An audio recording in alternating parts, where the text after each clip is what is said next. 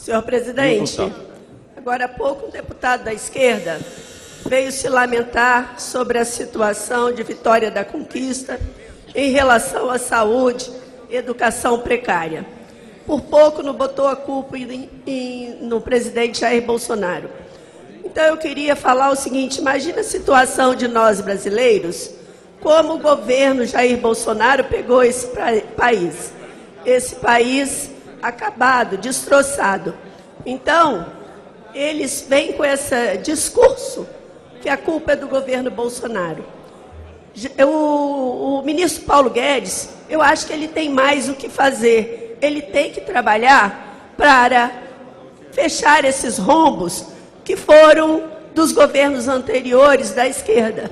E não em comissão, a convite para discutir coisas que não tem nada a ver. Então, Paulo Guedes não tem medo de nada. Paulo Guedes tem que trabalhar